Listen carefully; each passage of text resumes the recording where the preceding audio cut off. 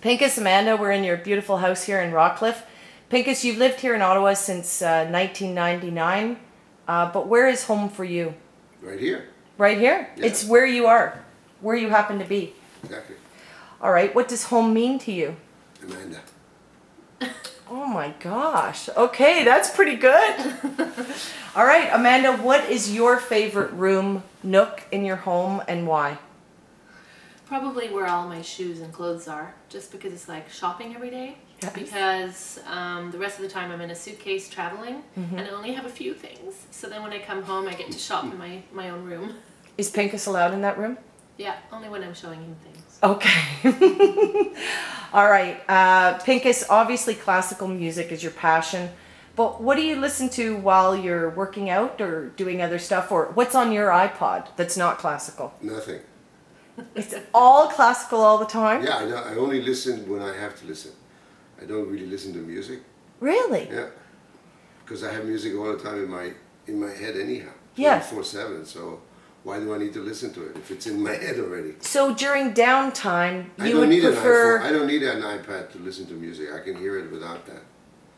I have Really? born. I'm born with a battery in it already. Really? yes. And and to relax, then you would prefer not to be hearing music. You would Correct. prefer quietness. That would be nice, but it doesn't happen to our brains very often. Our brains are full of music.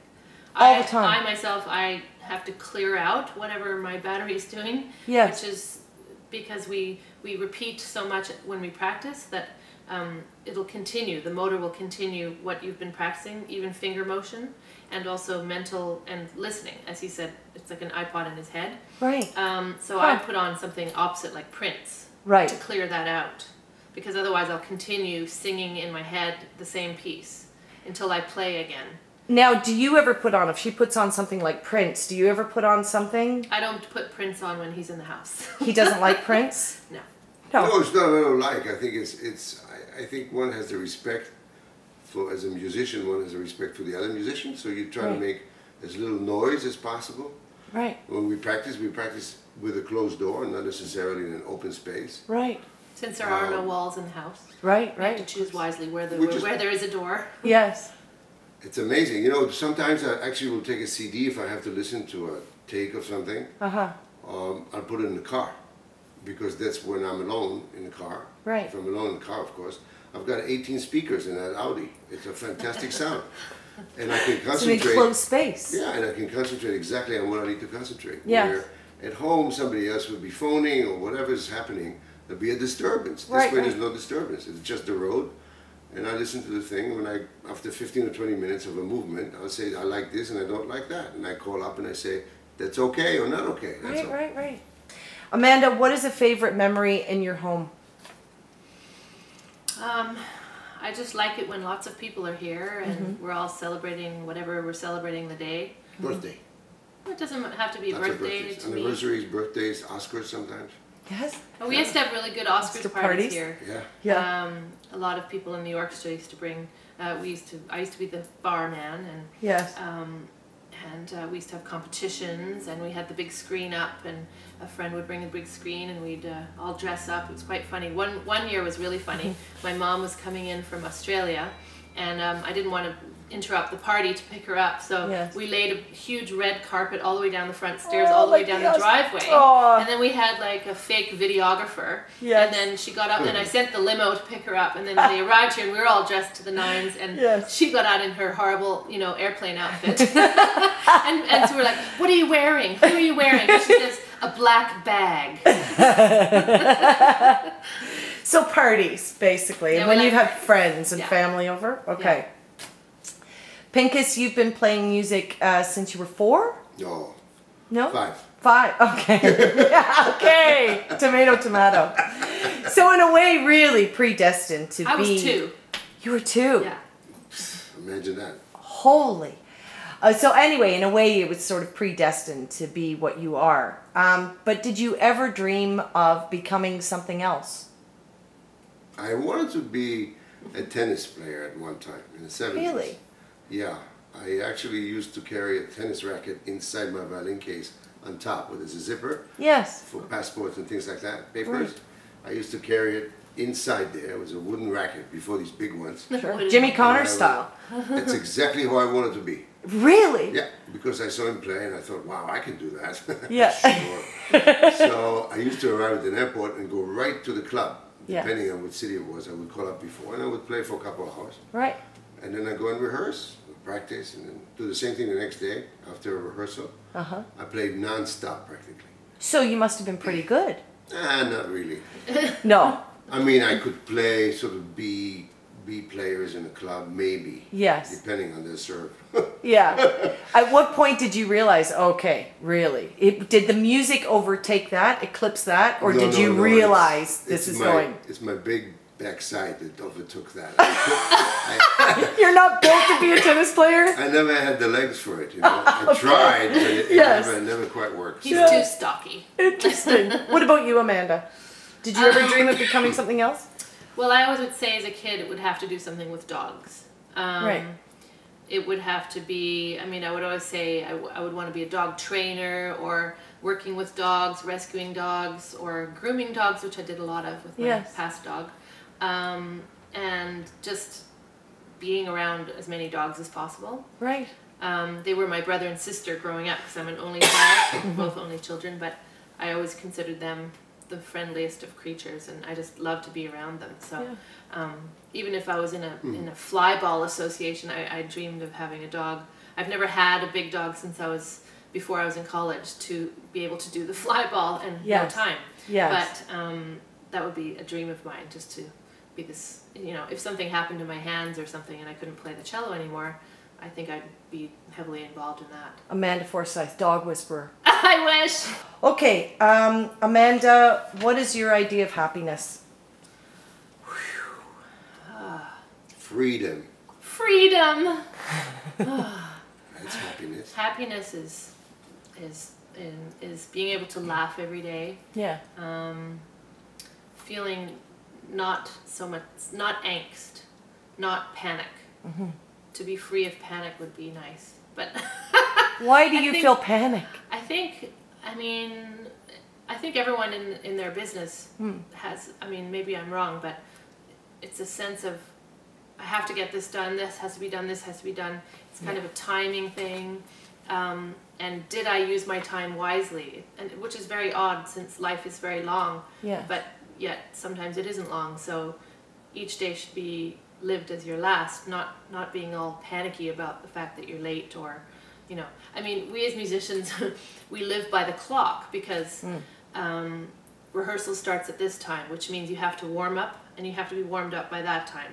And you have to make sure you're there, driving wise, traffic wise, subway wise, streetcar wise, um, airplane wise, getting to the airport, you know, You're always delays in the preparing. airport. Always preparing. Yeah, it's always for the actual end result is the performance Mm-hmm. is what we do. But um, getting there, that's the thing. And getting there that makes prepared. me very panicky. Yeah. Yeah. I and being prepared and being Mm. calm enough to be able to, you know, communicate what it is you've been preparing for. Right. But um, this whole panicky of transportation and airplanes and airports and cars and planes, trains, and automobiles. Right. You do all that stuff. It's preparing, preparing. You get there and then you wait. And then yes. he yes. calls it hurry up and wait. Yeah. Hurry up and wait all Yeah. the Yeah, time. It's there's so much waiting that drives me crazy. When when we have a few weeks where we're not traveling, this is sheer bliss. Right. But also at the same time panicky because I'm thinking, well, uh, oh, I gotta get more stuff done. Yeah, I gotta use this time wisely. exactly. Right. All right, Pinchas. Conversely, what is your idea of misery? Out of tune playing. Sorry, what? Out of tune playing. It's out of tune. To listen to or hearing misery? a, hearing Yeah. some himself lousy, or anyone else. Yes. hearing a lousy performance, or people actually, in the musical sense, people really not looking and obeying what it says in the score. That Right. bugs me. You can't imagine. Right. Right. And it's uh, and I call mediocrity poison, so I stay away from it. Right. And that's another way of celebrating, by the way. Yeah, it's staying away from mediocrity. And poison. And poison. All right. And again, Pinchas, this is for you. Uh, who do you admire uh, or who are your heroes? It doesn't necessarily need to be in the musical world. It, it doesn't. Yeah, yeah, yeah. Who do you admire? Who do you well, admire? I admire Mozart. Yeah, really. Mozart, obviously. Um, I would say that uh, probably Michelangelo. Leonardo da Vinci, Michelangelo is a kind of a toss-up. Mm-hmm. And one of the reasons I say these two names first is because they created something that no one else could ever do. And by that, bringing, bringing their art form, their ability, brought the whole standard of making sculptures and paintings up, and of mm-hmm. course, composition in Mozart's sense. There were many others. Yes. I then, of course, I think that when I saw Jimmy Connors play for the first time with a T2000, I don't know if people remember that. So Wilson, uh, he just wiped Ken Rosewall off that court. Wait a second. Are you talking about a type of racket here? Yeah. Okay. T T2000. two thousand. The wooden racket. T2000. Okay. No, yes. it was no longer wooden. It was I don't know. Oh, okay. It was some kind of a metal thing. Aluminum or Titanium. titanium. No, it wasn't titanium. No, it was metal, but it was T2000. Yes. And um, something like that. And he wiped off Ken Rosewall should have won, or we wanted him to win, all of us Right. in London at that time. Right. And seeing that at Wimbledon, I was, I mean, I couldn't believe it. But of course, there he was, 18, 19. Yeah. And he came up to, nobody, uh, nobody expected it. Right. And he changed the game overnight, literally overnight. I mean, there have been other people since then, of course Yes. that have gone beyond that, let's say, in records, but the actual day. And then there are other people. Mickey Mantle was one of the great baseball players. Yes. Uh, it's the way he also imposed his ability on the. He made everybody better on the on the pitch, on the well, in the stadium. Because of Uh, his playing. Because in, absolutely, and the way he carried himself and the symbol he, ca- obviously Gretzky. And when it comes to, to hockey, there's no one has ever been like Gretzky. Now, been other great players, Mm-hmm. but Gretzky really put the game into a different It's because of Edmonton. because of Edmonton. There's something in the water. there. Oh, is you're born in Edmonton. Edmonton. Okay. There you I was born in South Africa, but grew up in Edmonton. Grew up in Edmonton. And we have a joke about lots of nice things coming from Edmonton. Not Yes. nothing to do with me. Right. so, and, uh, and what you're saying is greatness. People that have raised the level of uh, their game, uh, music, whatever whatever their forte is. People that have made a difference, changed it, made it better for being for having been in it. Whether Yes, that's hockey, Many tennis, philosophers, music. writers, Yeah. dancers. Yeah. Um, there are not that many in a given 75 years. Right. But when you can actually know personally, let's say in my case, two or 3 during Mm-hmm. a lifetime that actually did that, that's a blessing. Right. And you try to emulate that all your life. And that's what I do. I, And the, the the few that you knew during your lifetime, you're talking about Connors and uh, and Michelangelo. Gretzky Michelangelo, I knew very and. Mozart. No, but He came to dinner last night. Did you know that? okay, I'd like to have what you were drinking. No problem. Okay, Amanda, I'd be remiss if I didn't ask you as well. Who do you admire? I mean, I, I couldn't decide on what concept. Who do I admire? Doesn't have to be music. Just who pops. I mean, it could be uh, your mom. It could be anybody. Um, just I admire my mom for sure. I admired, admired my dad Mm-hmm. in an intense amount because he was my music teacher Right. since I was a little girl. right. And um, he taught me lots and lots and lots about what I wanted to be and what I didn't want to be. Yes. Um, You wanted to be a wannabe?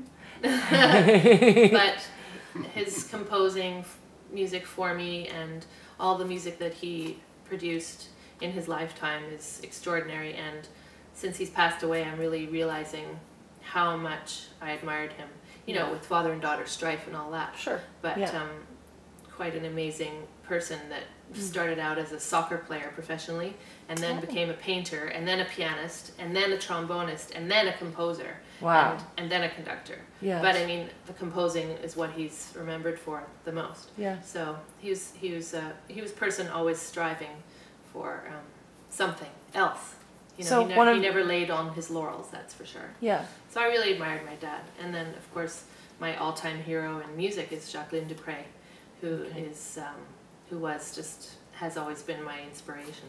Right. Okay. Great. Amanda, uh, your favorite qualities in a man? Large shoulders, Mm-hmm.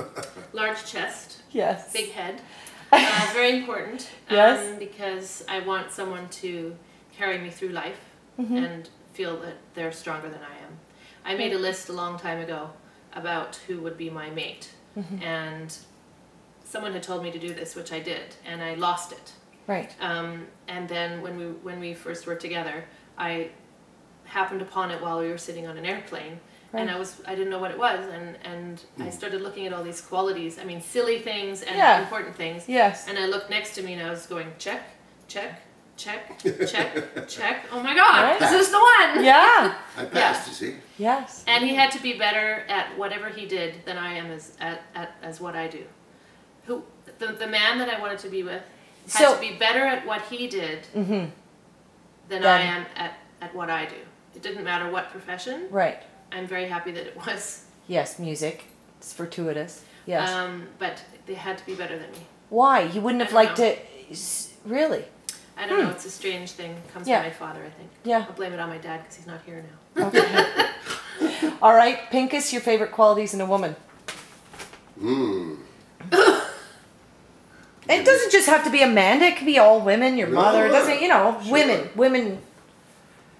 Well, I think a certain warmth, with a certain warmth and a quality of belonging, um, it brings out in me a kind of wanting to have this person. Right. Um, the beauty and the sexiness and all that, it's obvious. Yes. Um, I do tend to go towards blonde. Well, I'm lucky again. I got a real blonde this time. Yes. So, talent is fantastic. 'cause Yeah. This time. Yeah, well, I've been married twice before. It's true. yes. Um, we've been together a long time. You know, 14 years. So it's not no news really. Right. Um, talent, I think, is something in abundance that Amanda has, which I have the greatest respect for. Mm-hmm.